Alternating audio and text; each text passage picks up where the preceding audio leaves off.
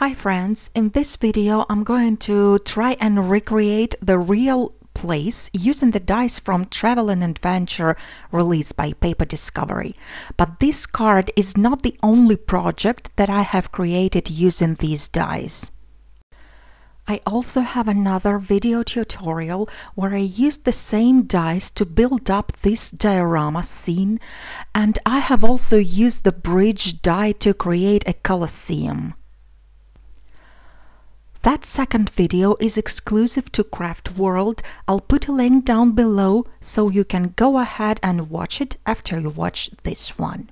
If you are not yet registered, there will also be an invitation link. It's free, by the way.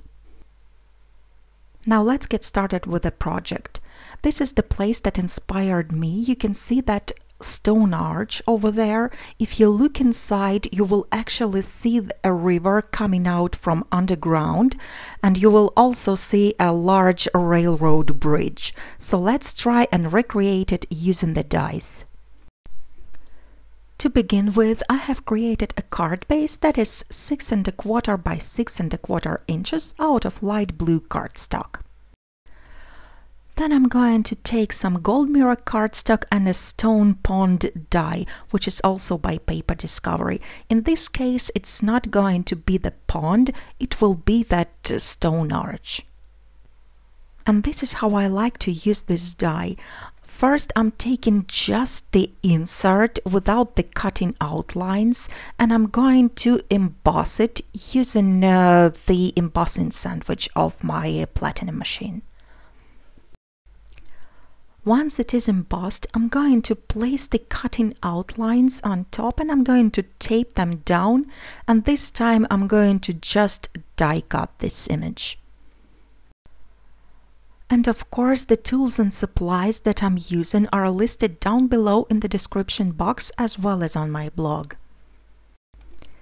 The cutting sandwich does not really flatten out the embossed parts at all, so here I have my arch.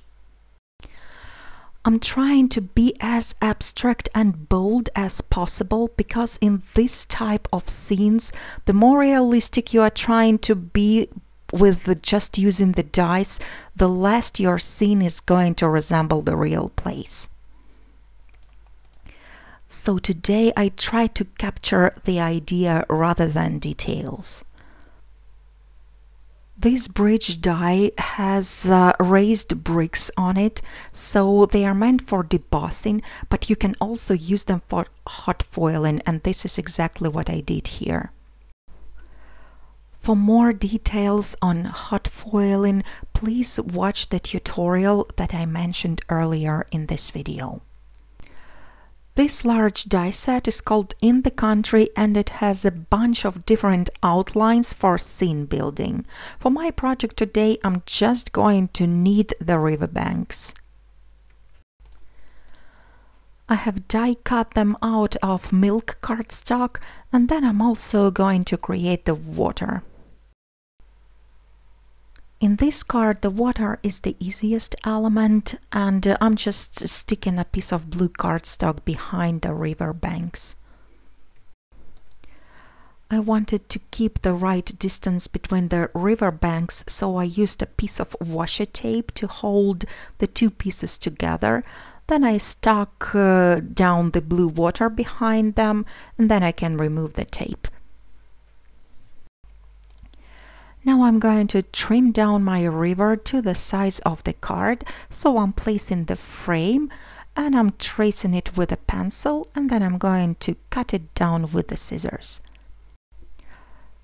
Then I'm sticking down the river with the river banks onto the card front with the liquid glue. Next I'm going to attach my bridge so I have applied some pieces of uh, double-sided foam tape at the wrong side and then I'm sticking it down onto the card front as well. The bridge die is actually 7 inches long so I will have to trim down the die cut as well. Next I have applied some foam squares at the wrong side of my golden embossed frame and I'm sticking it down onto the card front. this train die comes with the bridge, so I have die cut the frame out of green cardstock and now I'm going to stick it down onto the bridge as well.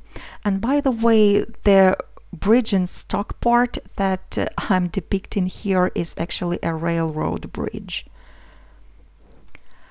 I'm also going to add the, the name of the place in case some people who know this place still don't recognize it. I am now using the alphabet strips and I'm attaching the letters onto a strip of blue cardstock one by one. And by the way, if you want to know how to make your own alpha stickers, I do have a tutorial on my channel and I'll put a link down below in the description for you. Then I'm going to attach my sentiment onto the card with a piece of foam tape. Then I'm trimming off extra cardstock and I'm tucking the edges of the sentiment strip behind the frame. And here is my card completely finished. This was really a quick and easy one. I'm encouraging you to look at your craft supplies and uh, think what real life places you can reconstruct using them. And these are the pictures of other two projects that I've made using the same supplies. And now you're welcome to head over to Craft World and watch yet another tutorial and I'll see you there. Thank you so much for watching and have a wonderful day.